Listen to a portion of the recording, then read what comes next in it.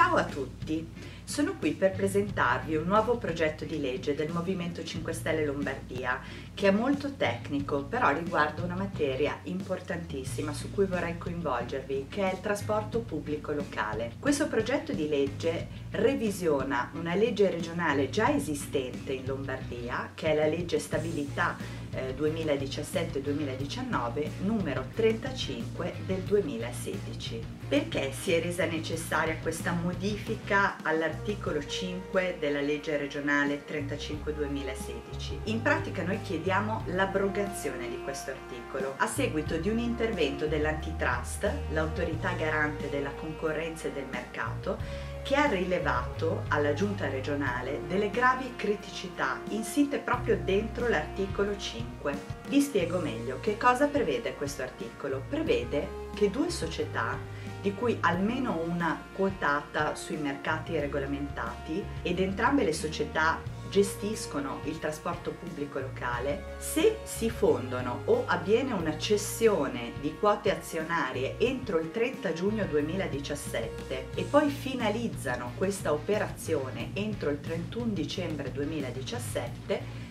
il contratto di servizio afferente a una delle due società estende la propria durata per il numero di anni pari a quello dell'altra società. Vi faccio un esempio pratico per farvi capire meglio. Avrete sentito in questi giorni spesso parlare sulla stampa di fusione fra Trenord e ATM.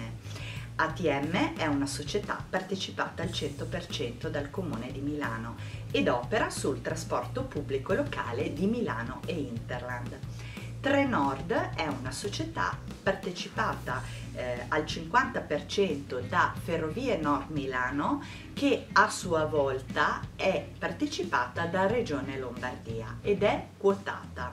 Se ehm, Trenord e ATM si fondessero, nonostante il contratto di servizio del TPL di ATM è in scadenza nel 2017, la fusione consentirebbe l'allungamento della durata di questo contratto di servizio in scadenza al numero di anni per cui è vigente il contratto di servizio di Trenord, che scade nel 2020. E qual è il vero problema di questa estensione della durata fino al 2020? Che secondo l'antitrust questo provocherebbe un ritardo nell'avvio della procedura di evidenza pubblica per l'affidamento della gestione del servizio di trasporto pubblico locale nell'intera area di Milano. In buona sostanza una distorsione del mercato in contrasto con i principi di libera concorrenza. Per questo il Movimento 5 Stelle ha immediatamente fatto un'interrogazione diretta alla giunta per chiedere come intende comportarsi alla luce di questo richiamo dell'antitrust.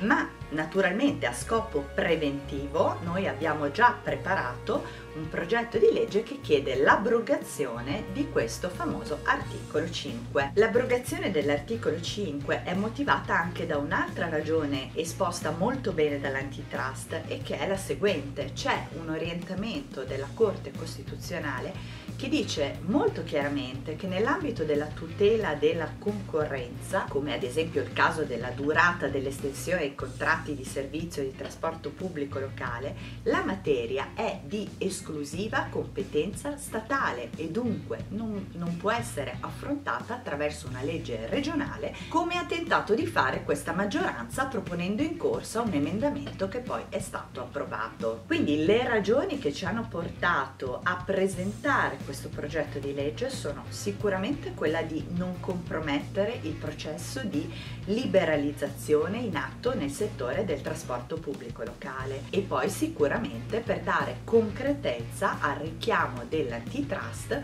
che ci ha fatto palesemente capire che l'articolo 5 di questa legge non va bene. Il nostro progetto di legge è quindi molto semplice da vedere e si compone di due soli articoli. Il primo consiste nell'abrogazione dell'articolo 5. Il secondo, che risponde a un'esigenza di indicare se ci sono maggiori oneri, se il progetto di legge fissa maggiori oneri in carico a Regione Lombardia, è l'articolo in cui si dice che questa legge non comporterà alcun onere aggiuntivo a carico del bilancio di Regione Lombardia. A questo punto noi vi invitiamo a inviare qui sull'ex tutte le vostre osservazioni utili su questo progetto di legge. Grazie!